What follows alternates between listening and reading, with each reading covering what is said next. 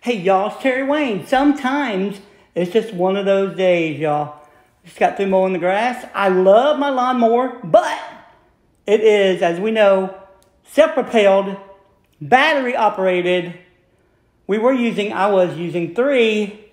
Today it was four, and it's still conked out. And I've got just a piece of grass. I ain't happy, y'all. It's one of those days. And you know what one of those days needs? Oh, hey, pretty girl. Hallelujah. I know all you Christians out there going, oh my God, he's a drinker. I knew it. Ta-da! Butterbeer. Non-alcoholic. But y'all,